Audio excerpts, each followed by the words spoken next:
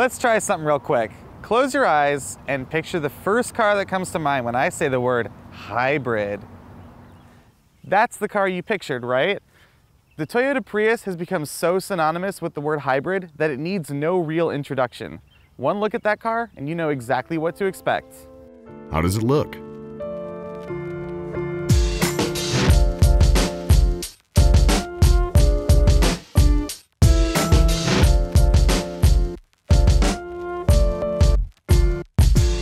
Toyota tried to be a bit more bold with the fourth generation Prius's design, but I'm not really sure if it works. To my eyes, the last two generations of the hybrid hatch were much cleaner, more handsome packages. This one has all sorts of weird angles and creases worked into its aerodynamic shape, and it's particularly offensive when viewed from the rear. What the heck were they thinking with those taillights? Thankfully, this Prius 4 tester rides on 17 inch wheels that better fill out the wells. The base wheels of lesser models look downright cheap. How's the storage? The Prius is a hatchback, which actually makes it really functional.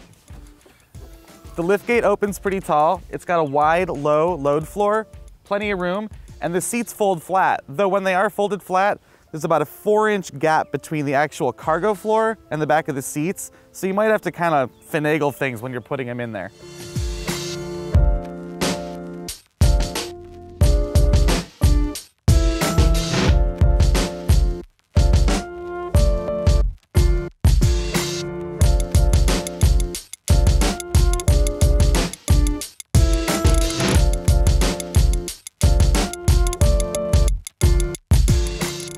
There's nothing revolutionary in terms of clever cubbies or innovative storage solutions. The door pockets are pretty small, and the center console has enough room for a phone and maybe a small purse. The cup holders are ample, and there's a clear place to put your phone with wireless charging built in. But it's still kind of weird that there's only one USB port in here, and the glove compartment itself only offers limited amounts of storage. Is it roomy? If you're up front, headroom is beyond spacious. That weird shape allows for some peace of mind in that regard. You'll kind of feel like you're on top of the seats, not in them, but no one really expects or wants deep supportive buckets in a Prius. I'd like a bit more reach with the steering wheel in terms of telescopic function, but it's still not hard to find a comfortable driving position. Around back, headroom is a little less ideal. I'm only 5 foot 7, so I don't have that much of a hard time fitting back there, but I don't really think 6 foot 5 Seth Miersma would be all too comfortable in the back of the Prius. How does the interior feel?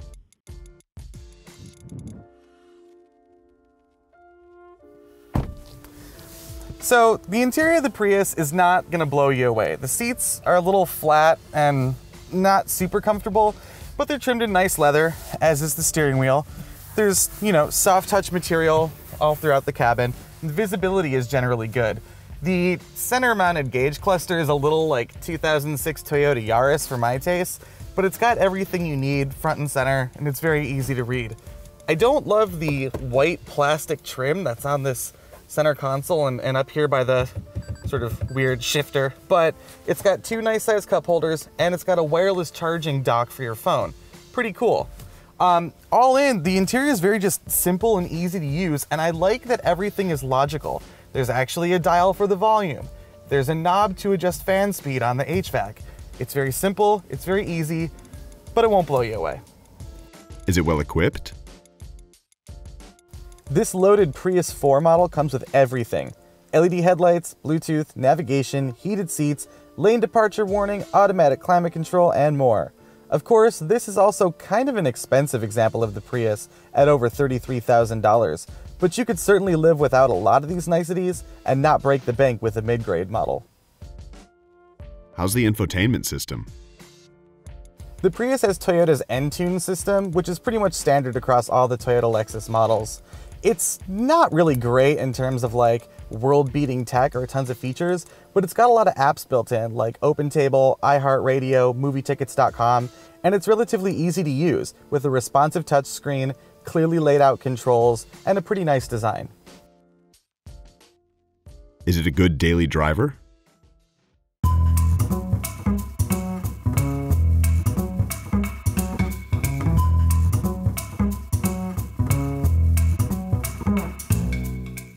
So daily driver duty is pretty much what the Prius is made for.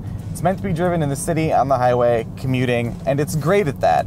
It's better in the city, obviously, and you'll get 54 miles per gallon if you're careful on the throttle.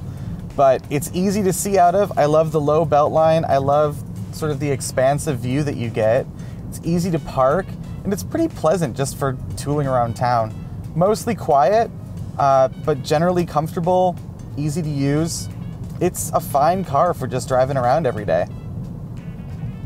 I will say that wind noise and road noise are a little bit of an issue. Maybe it's because the rest of the car is so quiet, like you don't really hear the engine that much. Um, but especially on the freeway, I mean, even with the aerodynamic shape, you'll hear the wind and you'll hear uh, the road underneath the tires. They're low rolling resistance tires, but they're still kind of noticeable. Is it fun to drive? Uh, not really. I mean, the Prius's mission is not to be a fun to drive enthusiastic car. So, steering feel, chassis, all that stuff, not exactly great. The car kind of rolls and wafts around. The steering feels a little disconnected, but it's fine. And in the city and just commuting, which is what this car is designed to do, it's still perfectly pleasant. And I guess depending on your definition of fun, there is something to be said for trying to eke out the most fuel economy, switching between eco mode and, you know, trying to game the throttle and braking to make sure you're driving as efficiently as possible. A couple of small gripes are that the brakes are a little grabby. I know that there's some strong regenerative braking going on here, but it's a little tough, at least initially, to drive this car smoothly. The throttle, it's kind of dead immediately, and then the power just kind of hits right away. Not that there's a ton of power to be working with, but once you get the hang of it, you'll have a better driving experience. But for your first couple of times, don't be surprised if it seems a little jerky. How's the fuel economy? It's a Prius, so you know this thing is going to be tremendously efficient. How does 54 miles per gallon city, 50 highway, and 52 mpg combined sound? How much is it? You'll need 24 grand to get yourself into a base Prius, but if you want one loaded up like this test car, add roughly 10 grand to that price. This top tier 4 touring trim costs $33,708 as tested. I imagine the sweet spot for the Prius is somewhere in the more affordable mid to upper $20,000 range. What are the negatives? Look, as a driving enthusiast, I'm kind of predisposed to not like the Prius because it's pretty dull from behind the wheel. But in terms of actual gripes, the styling doesn't really do it for me, though that's subjective, and inside, a lot of the materials just don't feel so great. Who should buy it? Honestly, all you really have to say is, this is the new Toyota Prius, and people will run to dealerships because Toyota has no problem selling these things like hotcakes. But it's easy to see why. It's functional, it's well equipped, and it's outrageously fuel efficient. You might want to cross shop a Chevy Volt if you're interested in looking around, but if you only have eyes for the Prius, there's nothing wrong with this package.